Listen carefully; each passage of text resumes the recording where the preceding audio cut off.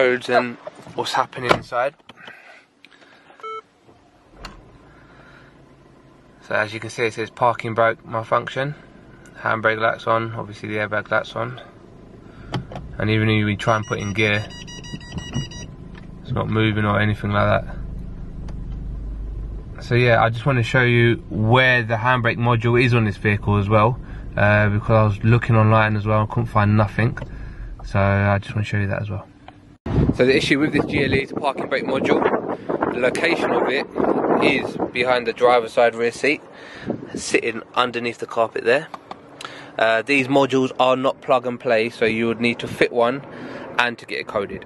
So we're going to go in the electronic parking brake module now, so I've fitted it. So we're going to go special functions, teaching process, electronic parking brake. Then it said make sure it's on a level surface, release the parking brake. Do you want to start calibration? Yes. You can hear the motors working at the back. Calibration successful. Continue. Trouble codes. That's it. So just erase the fault codes. Then it'll read it again. No fault codes. That's it. The job's done. So we're going to go in electronic parking brake module now. So I've fitted it. So we're going to go special functions, teaching process, electronic parking brake. Then it said make sure it's on a level surface, release the parking brake. Do you want to start calibration? Yes. You can hear the motors working at the back. Calibration successful. Continue. Trouble codes.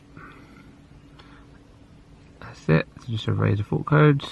Then it'll read it again. No fault codes. That's it. The job's done. Just want to show you all the lights gone as well and the function of the handbrake after programming the module. So that's handbrake on, handbrake off, and moving, yes, moving, handbrake on again. That's it. Just want to show you the replacement as well.